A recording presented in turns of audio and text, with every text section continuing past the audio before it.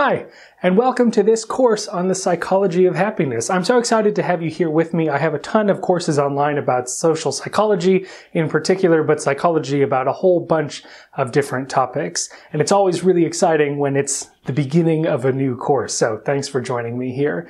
Just a little bit of a preview before we get right into things. I want to tell you a little more about what this course is, what you can expect, and so forth. What this is, is a simple condensed Psychology of Happiness online course. We're going to look at a few simple actionable techniques that can increase happiness and well-being. So maybe you're interested in the psychology of happiness, or you're interested in people, or you're interested in social psychology in general, and you just want a little taste of what this stuff is all about. This is the course for you. And even if what you're interested in is creating greater well-being for yourself increasing your own happiness and life satisfaction, here are the first steps to get you rolling with.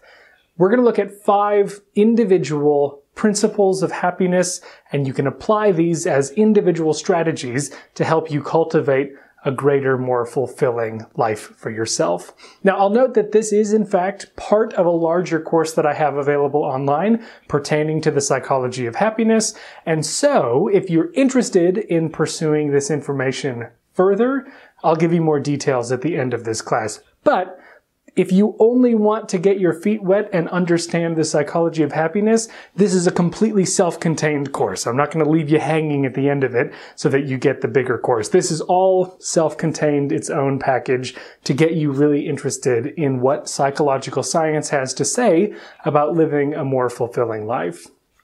So, we're going to go step by step, video by video, to understand some basic tricks to increase well-being and I want to reassure you that all of these things are grounded in really good psychological science. I'm a social psychologist myself, and everything that I have presented to you in this course has been vetted by me after looking at the primary scientific research articles. I didn't go to blog posts. I didn't go to newspaper coverage. I went to right to the source to see what is it that these psychologists have done and does it really tell us something about happiness or is it just more uh, empty promises like we usually see in the self-help section of the bookstore. No, this is all scientifically backed and uh, really well-founded psychology of happiness that I'm going to share with you. With that out of the way, let's jump right in with the first trick to increase happiness and cultivate a more fulfilling life for yourself.